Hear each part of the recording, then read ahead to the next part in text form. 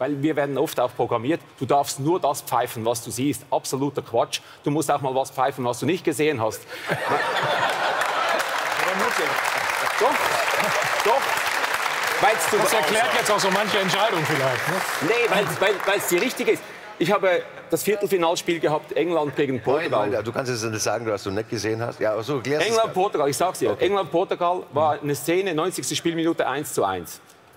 Äh, Beckham, Freistoß von der rechten Seite. Weißt du als Schiedsrichter, verdammt, jetzt wird es nochmals gefährlich, oder? Also bist ja, Ja. total konzentriert. Ball kommt, geht an die Latte, von der Latte springt er zurück. Campbell kommt hoch, ein Riesentyp, dieser Campbell, oder drei Meter fast in der Luft, tack, macht er rein. Und ich habe gesagt, irgendwas stimmt nicht. Irgendwas stimmt nicht. Und habe gepfiffen, habe das Tor nicht gegeben. Der, der Assistent hat es gegeben. Ich habe gesagt, nein, das stimmt nicht. Irgendwas stimmt nicht. Habe es nicht gegeben, äh, wusste aber nicht, was es war. Schlussendlich, habe keine Ahnung gehabt. Jetzt verstehe ich. Nee, der war jetzt mal.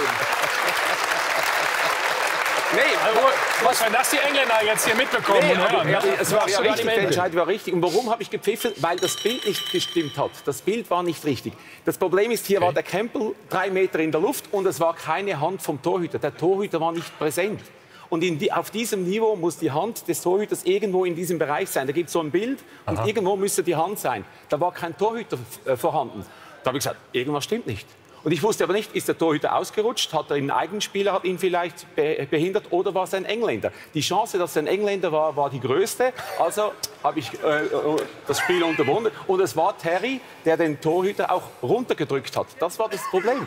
Wenn ich nach Schulmeinungen gepfiffen hätte, hätte ich das Tor äh, gegeben.